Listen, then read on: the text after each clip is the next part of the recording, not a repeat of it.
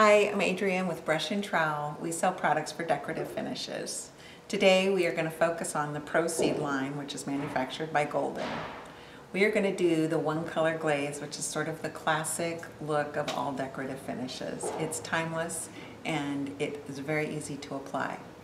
As you can see in these pictures of the living room, there is a one color glaze that goes all over the walls and the ceilings. It just sort of makes kind of a monochromatic and a very soft finish on the walls.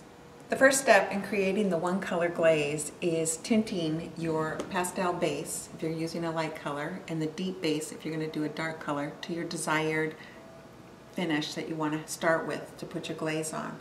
We are going to do a neutral white so it's going to be a real simple glaze. The next thing we'll do is we'll take our glaze full body, which either comes in gallons or quarts, and we will mix it with, um, which my, one of my favorite colors to glaze with is the Van Dyke Brown um, Slow Dry.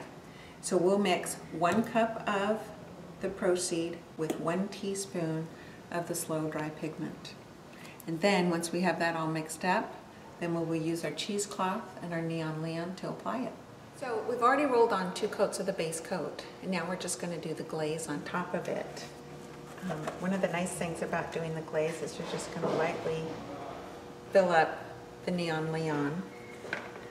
And the key is on your cheesecloth that you get it shaken out and that you kind of pull it up into a nice soft poof so that it's not hard or round so that you don't get the round shapes on it when you're glazing. One of the tricks in the glazing is to drag the glaze out and then push it from that sort of vein that you create so that you get the unevenness of the glaze, which gives it kind of the movement and modeling that's always so desired in it.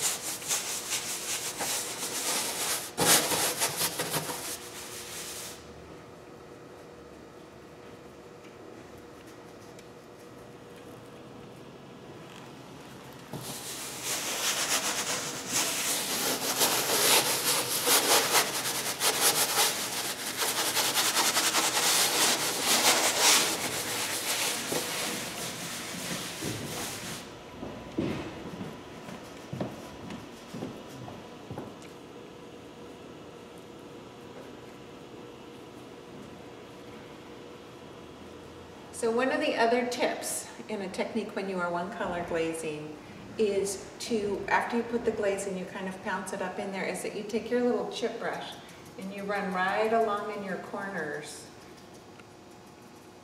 so that it blends out evenly and you don't have heavy puddles of glaze in your corners.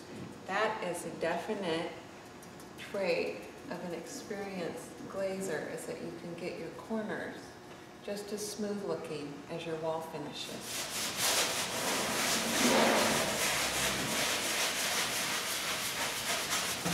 So one of the other things when you are creating your space that you're glazing is to make sure that it is a very organic shape and that you take your cheesecloth and blend from your old or your new spot to the to the older spots. And as you come up to the edge, you don't really pounce this because you're going to do it once you kind of bleed the two sections together or marry the two sections together. So again, when you're looking at this, then we're going to go diagonally along here. So we're kind of going backwards in this way and always creating very organic shapes so that if there is any webbing that occurs, it looks very natural.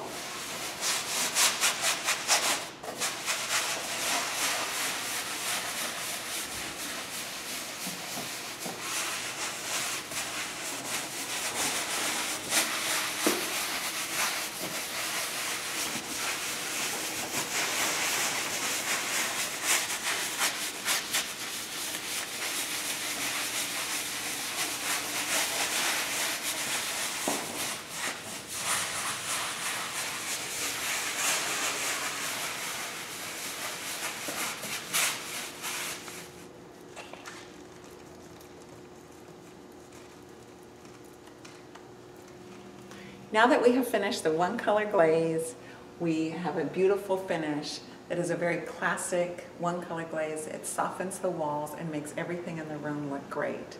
You can go online to brushandtrowel.com and order any of these products.